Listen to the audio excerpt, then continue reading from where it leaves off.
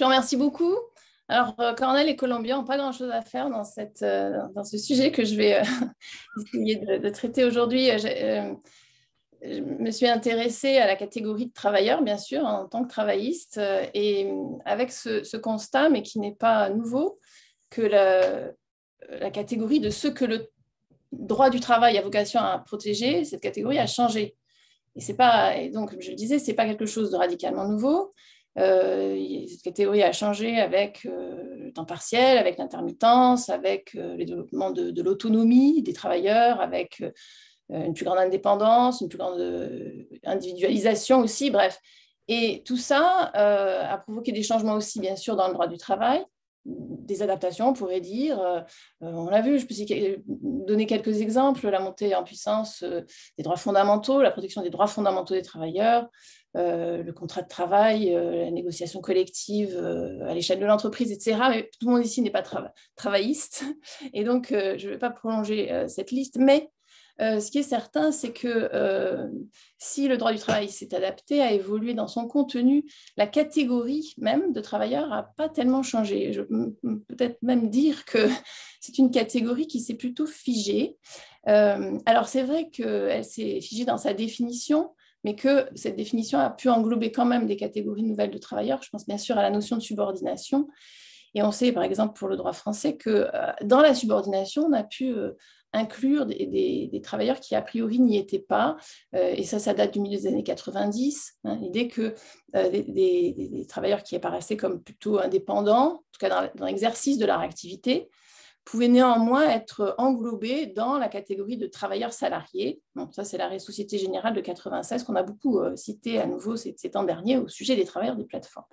Mais parce que, effectivement, la, définition de la catégorie est suffisamment souple, malléable, pour pouvoir euh, englober euh, au-delà de son, son domaine initial ou ce qu'on avait pensé initialement comme étant inclus dans les travailleurs inclus dans cette catégorie.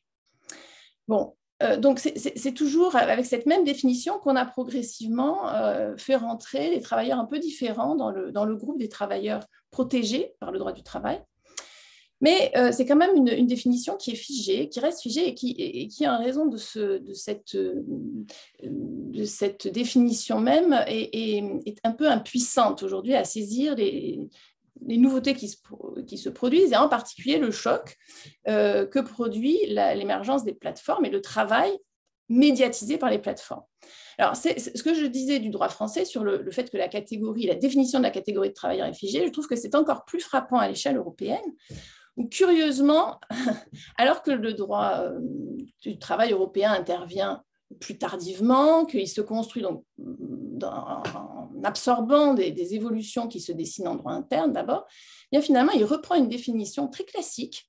Et euh, au lieu d'être euh, bah, d'être un droit qui permet une évolution, de, changer les choses comme il le fait dans d'autres domaines, d'être un droit, on pourrait dire, disruptif.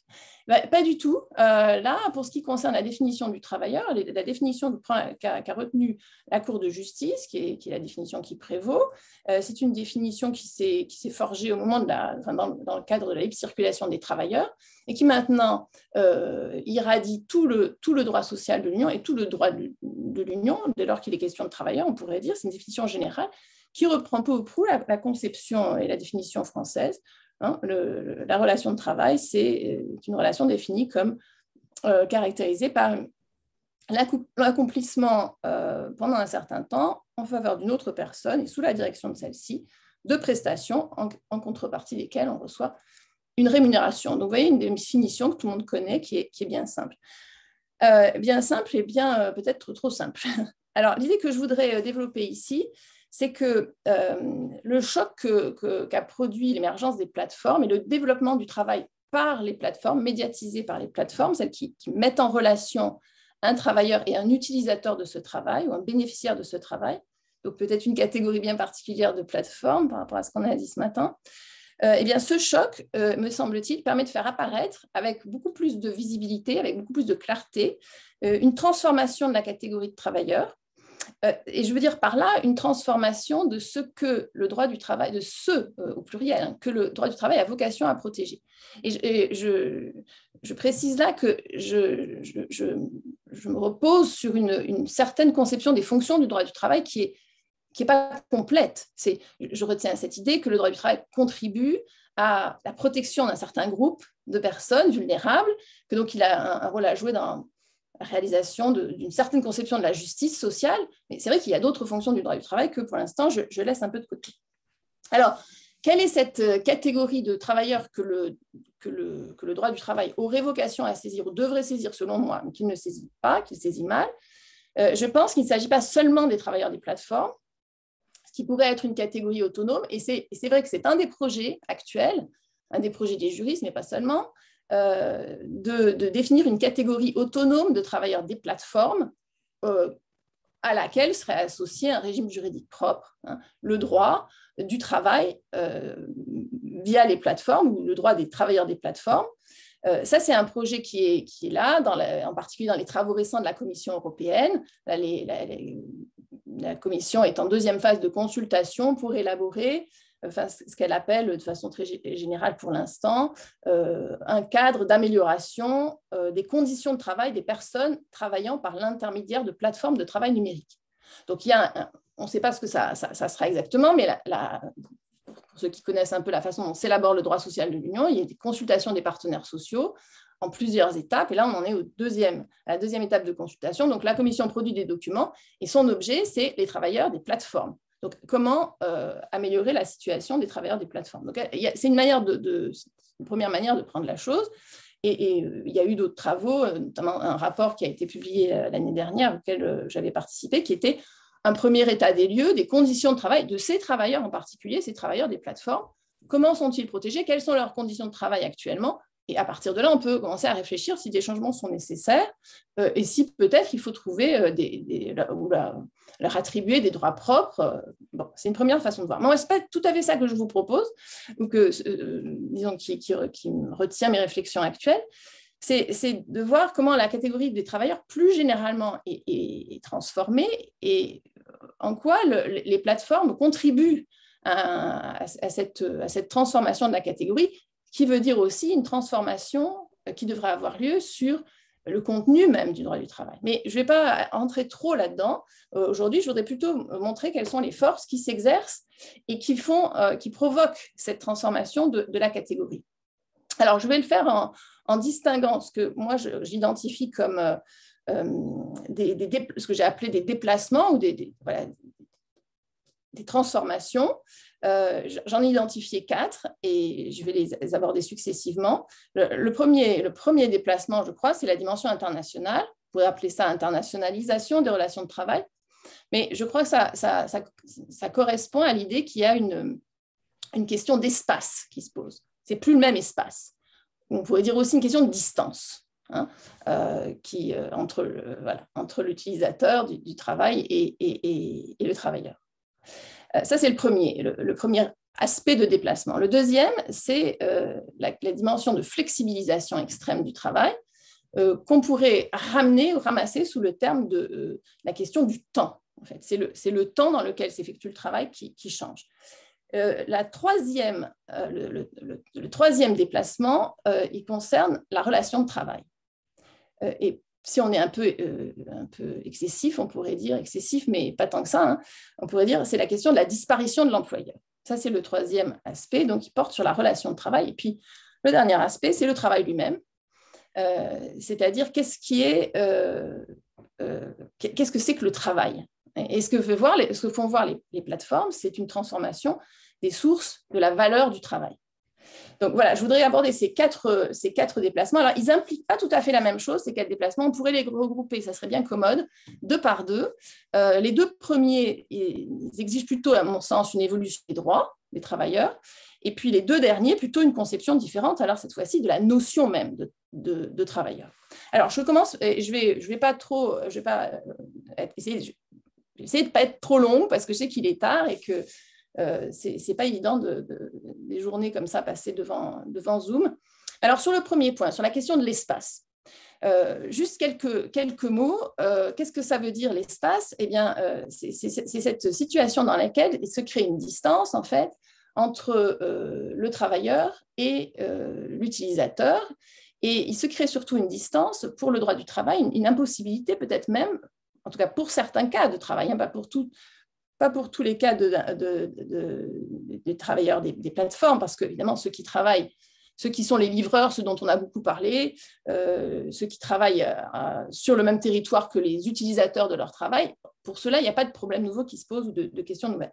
Mais ce qui, se passe et ce qui est plus transformateur, c'est la situation dans laquelle, c'est évidemment le, cas des, plateformes de, euh, de, de crowdworking, c'est lorsque euh, le travailleur n'est pas nécessairement sur le même territoire, il n'est pas sur un territoire qui peut être régulé par un droit du travail, mais il se trouve euh, réparti euh, sur la planète. se trouve ce, groupe de travail réparti sur la planète avec quelque chose qui est très intéressant, très, très, très utile, c'est que les contextes les contextes nationaux ou locaux différents permettent euh, d'utiliser ces temporalités différentes, ces niveaux de vie différents, des qualifications différentes, des langues différentes. Bref, c'est une ressource extrêmement euh, riche que de pouvoir faire appel à ce travail euh, tout autour de la planète. Donc, n'importe quand, la nuit, le jour, c'est très bien en termes de, productivité, sans, aucun doute. Donc, c'est une forme d'internationalisation. On en a déjà connu d'autres par les délocalisations, puis dans l'Union par les prestations de services internationaux, etc. Il y a plein de modèles comme ça qui peuvent, euh, avec lesquels on peut faire des parallèles. Mais c'est quand même quelque chose d'assez nouveau. Ça peut prendre une ampleur. Aujourd'hui, évidemment, ce n'est pas quand même euh, tout le travail qui est concerné, mais ça peut prendre une ampleur assez grande. Et ce que je voudrais dire à, cet égard, c'est que ces travailleurs-là, ces travailleurs qui ne sont pas saisis par le droit du travail national, c'est-à-dire là, là où le, droit du travail a ses assises, son ancrage, peut-être même pas par le droit, un droit du travail de l'Union, eh bien, ces travailleurs-là, ils, occupent une place qui font qu'aujourd'hui, on ne peut plus dire c'est marginal. C'est-à-dire le droit du travail international, toutes les questions de droit international privé, du travail, euh, ce n'est plus des questions marginales, il me semble. Et cette figure-là du travailleur qui n'est pas le national, qui n'est pas sur le territoire national, elle devient une figure importante. Et euh, bien sûr, il faut repenser à cette aune la place donc, de la question de la dimension internationale, euh, de l'application internationale des règles, la place des recours possibles euh, de ces travailleurs, des instruments juridiques qui sont aussi modifiés. Alors là, certains font, allusion à la possibilité de faire appel aussi ici au devoir de vigilance. Ce n'est pas évident hein, et ce n'est pas forcément très, très puissant. Mais enfin, en tout cas, il y a des, nécessités de reconsidérer les choses. Donc ça, c'est pour la distance, la question, cette, euh, au fond, cet éclatement planétaire euh, de la, situation des travailleurs. Le deuxième, euh, le deuxième aspect, c'est l'aspect du temps, comme je le disais, ou dit autrement de la flexibilisation extrême de l'organisation du travail. Alors, là non plus, on n'est pas dans des choses qui sont nécessairement radicalement nouvelles parce que la flexibilisation, les contrats courts, très courts, les mini-jobs, vous avez entendu parler de ces, contrats euh, très courts, on demand, parfois on dit euh, zéro heure. Vous avez entendu peut-être aussi parler de ces contrats zéro heure qui ont fait du bruit euh, il y a quelques années, parce que, évidemment, extrêmement flexibles et créant des situations d'extrême précarité. C'est cela, cela dont on s'est préoccupé. Et la directive européenne de, de 2019, celle qui concerne des conditions de travail transparentes et prévisibles, euh, elle, entend traiter ces situations d'extrême précarité, d'extrême euh, flexibilité. Alors, elle le fait en disant qu'il ne s'agit pas uniquement de de, s'occuper des travailleurs des plateformes. Il y a beaucoup de catégories, en fait, un grand nombre de, catégories de travailleurs qui sont dans ces situations de précarité extrême et que, euh, pour lesquelles la directive de 2019 essaie d'apporter des solutions. Mais il est vrai qu'on a quand même en tête, et même avec cette récente directive, en tête que ceux qui vont être particulièrement concernés par ces, euh, nouveaux droits, ce sont les travailleurs des plateformes. Euh, ils sont particulièrement précaires, aucun doute, peut-être pas tous, mais dans, une grande, dans une grande proportion. Lorsqu'on regarde un peu les rapports qui ont été faits sur leur situation, il y a, notamment des, donc des analyses faites par la Commission européenne, mais aussi des, documents de l'OIT qui sont assez intéressants, notamment un rapport sur le crowdworking euh, de 2019 qui a été publié par l'OIT.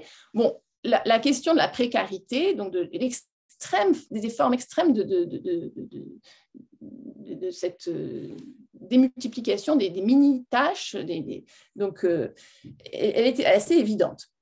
Alors, qu'est-ce que ça change pour le droit du travail?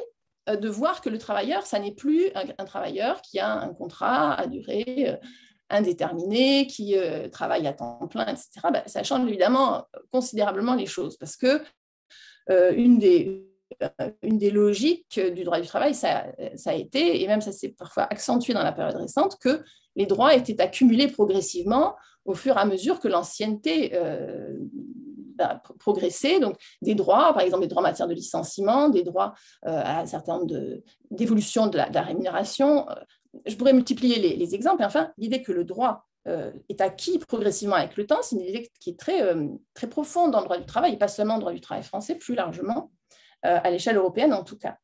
Euh, et ce, qui ce qu'on a vu se manifester là, récemment dans les contentieux qui se sont, euh, qui se sont développés, c'est une question, je crois, très centrale à cet égard, c'est la question du repos, du droit au repos. Et pour l'Union européenne, le droit au repos, c'est un droit fondamental, c'est devenu un droit fondamental récemment.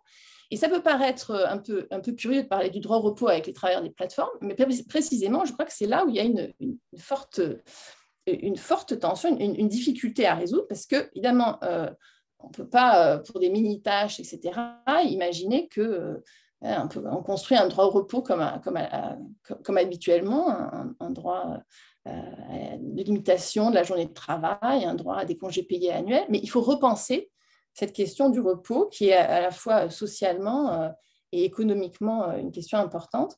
Et on voit, hein, c'est au cœur. Alors, ça, vient, vous voyez, dans le contentieux anglais, la, grande affaire Uber, là, qui a été, euh, qui a été tranché en février 2021, il y a une question de est-ce que ce travailleur peut avoir droit à des congés payés? Dans l'affaire euh, Yodel, euh, de la décision de la Cour de justice de l'Union européenne, eh bien, c'est aussi cette question de l'application de la directive de 2003 sur l'aménagement du temps de travail et sur donc, ce droit au repos, notamment du, travailleur de plateforme. Donc, moi, je crois que un des grands aspects qui est lié à cette question du temps, et vraiment c'est directement lié, c'est la question de qu'est-ce que ça peut signifier, ce droit fondamental au repos, euh, pour des travailleurs qui travaillent comme ça dans des, dans des, dans des formes extrêmement euh, flexibles et, et, mouvantes comme ça d'activité.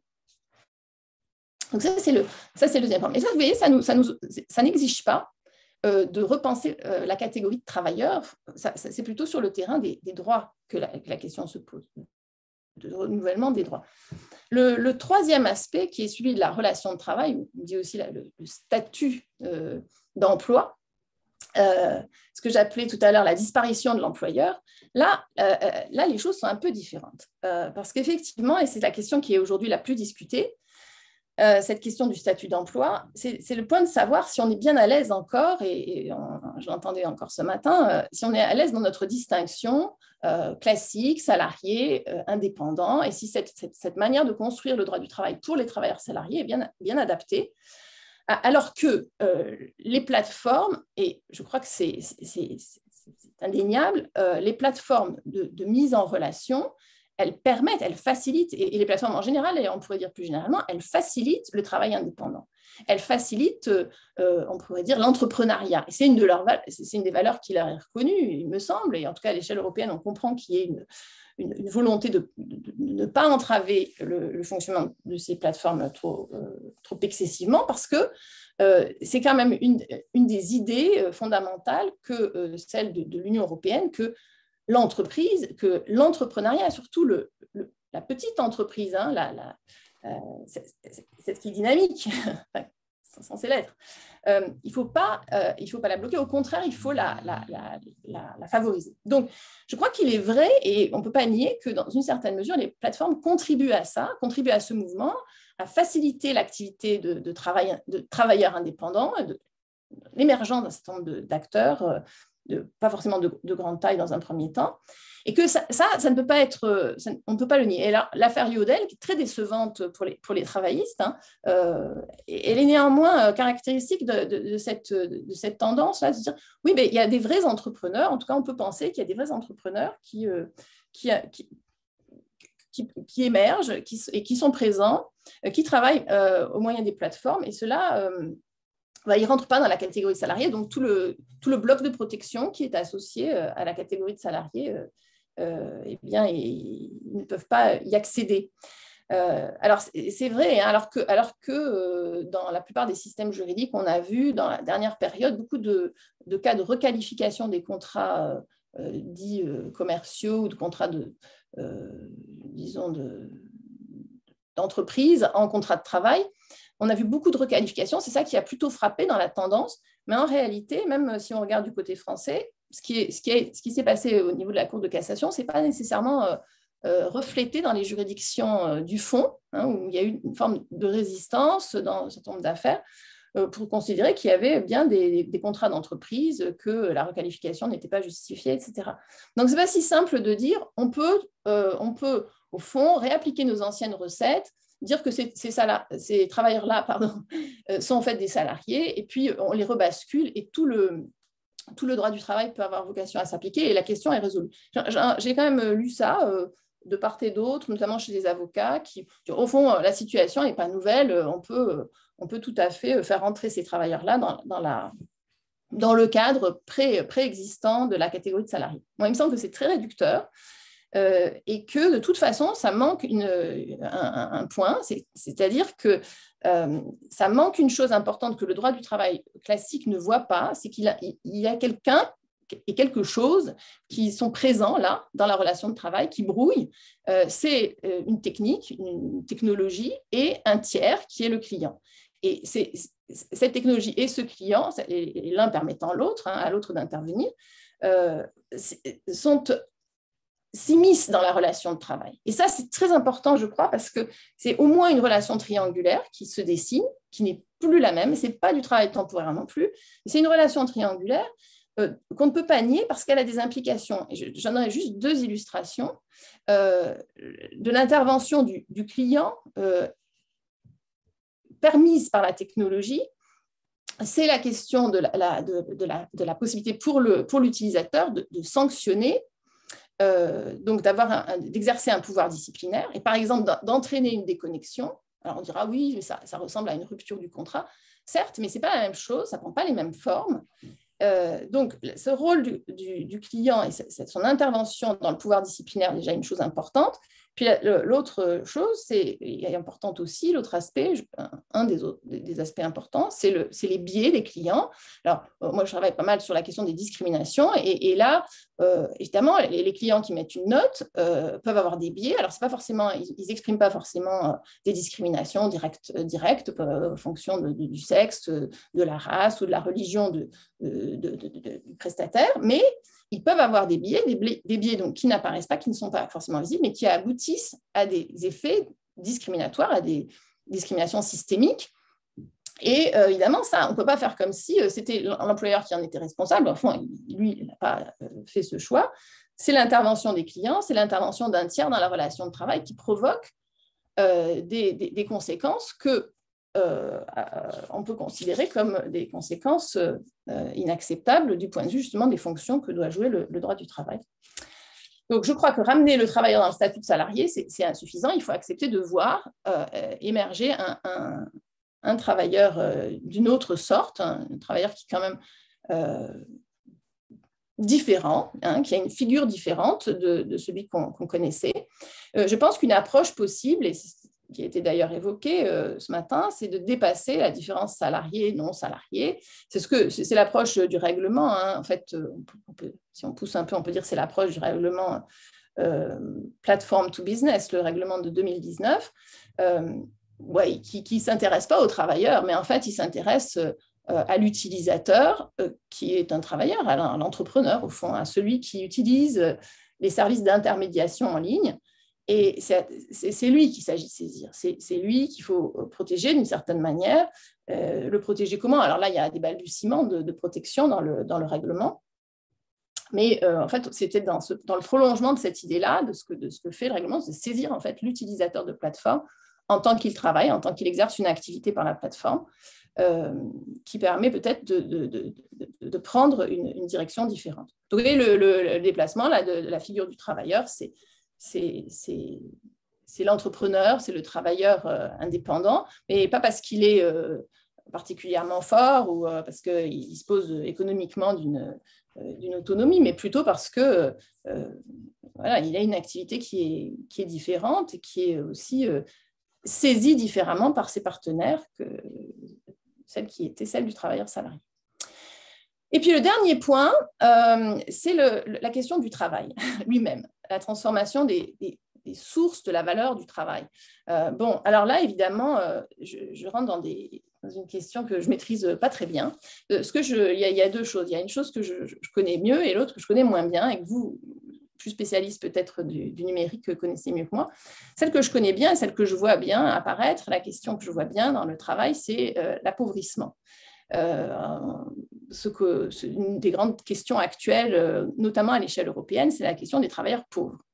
Ce n'est pas uniquement à l'échelle européenne, mais c'est vrai que l'Union européenne, la Commission en particulier, a décidé de s'intéresser à cette, question des travailleurs pauvres et notamment en prenant, en le prenant sous l'angle du, du, salaire minimum. Vous savez peut-être qu'il y a une, une proposition de directive depuis octobre 2020 de la Commission sur, euh, enfin, pour la mise en l'établissement d'un salaire minimum adéquat dans l'Union européenne. Alors, c'est un aspect de qu'est-ce qu'on fait face à la pauvreté au travail? Euh, et il va de soi que la question de la rémunération des travailleurs des plateformes est une question euh, essentielle et en lien avec ce que je disais tout à l'heure de la précarité, évidemment.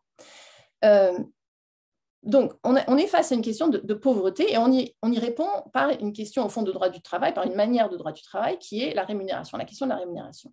Et moi, euh, euh, la, question suivante qui me préoccupe, c'est de savoir si, euh, en fait, il n'y a pas autre chose dans la valeur du travail que le droit du travail ne voit pas, c'est-à-dire qui est un angle mort pour le droit du travail, euh, c'est-à-dire le fait que le travailleur en travaillant produit non seulement les biens et les services pour lesquels il est occupé, mais aussi euh, autre chose, et en, particulier des données qui ont une valeur et euh, dont la valeur pour l'instant est ignorée.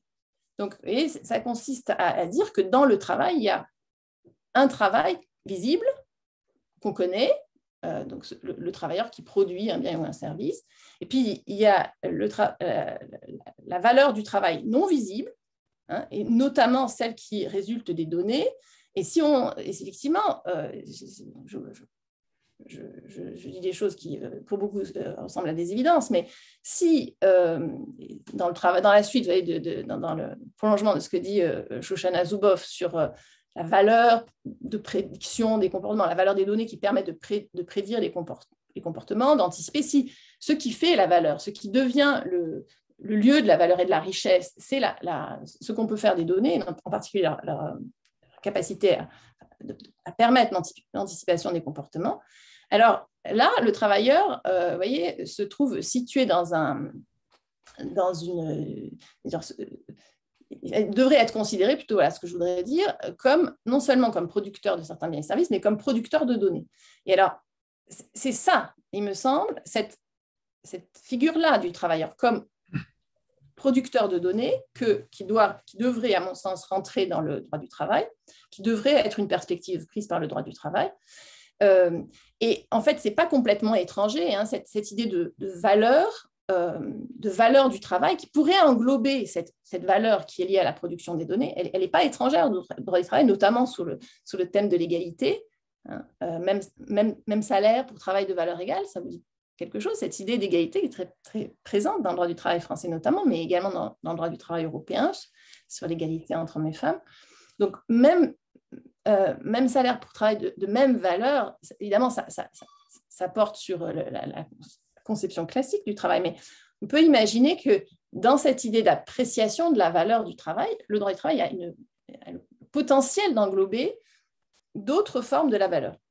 Et donc moi, il me semble que c'est à la fois cette question-là et à la fois celle qui est la, plus difficile à saisir pour le droit du travail, et aussi la plus intéressante pour nous, la plus importante, sûrement pour euh, ceux qui sont spécialistes du droit du travail, euh, parce que euh, ce qu'il s'agit de régler, au fond, c'est une nouvelle forme de partage de la richesse et que euh, c'est là la question de la justice sociale.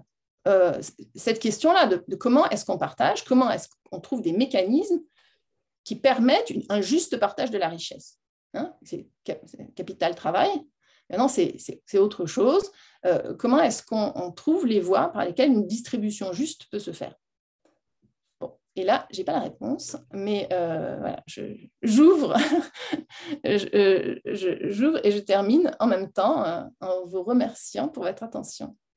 Merci, merci, chers collègues, pour, ce, ce, parcours dans le droit social et pour la, mise en place de, tous les questionnements que l'arrivée des plateformes suscite.